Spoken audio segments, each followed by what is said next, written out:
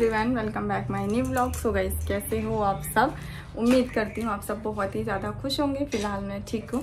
तो आज मैं आप लोगों के साथ शेयर करने जा रही हूँ मिसू ज्वेलरी हॉल जो बहुत ज़्यादा ट्रेंडिंग में है। और मैं बहुत दिन से सोच रही थी कि टाइम निकाल के मैं ये वीडियो शूट कर लूँ कर लूँ कर लूँ।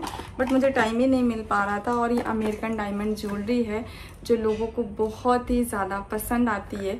तो फाइनली आज मैं वीडियो शूट की हूँ काफ़ी दिन के बाद। मेरा ये मेकअप लुक क्रिएट हुआ बहुत बहुत दिनों के बाद। तो मैंने कहा आप लोगों के साथ शेयर कर दूँ। फटाफट से गर्मी बहुत है। ये मेकअप लुक ब्राइडल के लिए बेस है। बहुत इजी सिंपल सा बेस है। अगर आप देखना चाहते हो तो जाकर देख लेना। फ़ैन ऑफ़ कर कर मैं वीडियो शूट कर रही हूँ। ज़्यादा टाइम वेस्ट नहीं करूँगी। अमेरिकन डायमंड ज्वेलरी है। इनमें से कोई भी ज्वेलरी आपको लेनी है। तो ठीक है? तो सबसे फ़र्स्ट हमारी ज्वेलरी ये है, जो मोस्ट रिक्वेस्टेड ज्वेलरी है, बहुत ही ज़्यादा मेरी फेवरेट है। मैं आपको हाईली रिकमेंड करूँगी। अभी इसे मैंने बाबू के बर्थडे में पहना था। बर्थडे के चौथे दिन ये वीडियो में शूट कर रही हूँ। ये देखिए, ये है अमेरिकन डायमंड ज्वेलरी जैसा मैंने आपको बताया, ये बहुत ही सुंदर सी एडी नक की ज्वेलरी है। एडी अमेरिकन डायमंड आप सभी को पता है। इसकी शाइन की हम जितनी तारीफ़ करें ना, उतनी ही कम है। तो आप देखो, सारे में स्टोन लगे हुए हैं बीच में छोटे वाले स्टोन है और सामने जो है ना वो बड़ी वाले स्टोन है।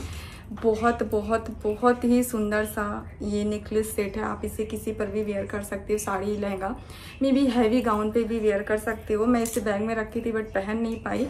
गाउन के हिसाब से इयरिंग्स मैंने यही वाली डाली थी। आप देख लेना, मेरे जो बर्थडे पार्टी में हम पहने हुए हैं ये। तो और इसमें एक छोटू सा जो है ना टीका भी मिलता है। अभी मैं सब पहनूँगी तो आपको अच्छे से समझ में आएगा। सर ये ज्वेलरी है, ये देखिए, इसकी क्वालिटी एकदम हाईली रिकमेंड करूँगी। तो फ़र्स्ट ज्वेलरी ये हो गई हमारी, ज़्यादा टाइम नहीं वेस्ट करूँगी। सेकेंड ज्वेलरी हमारी ये है, जो कुछ इस तरह से है। और उसकी प्राइस बहुत कम है। कितने की थी मुझे याद नहीं बट बहुत ही ज़्यादा कम है।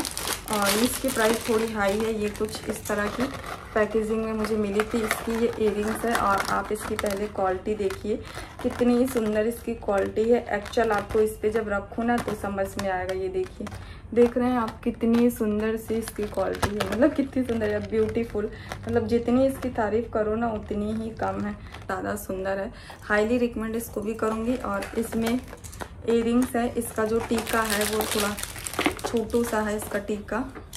ये देखिए, इसका टीका छोटा सा है।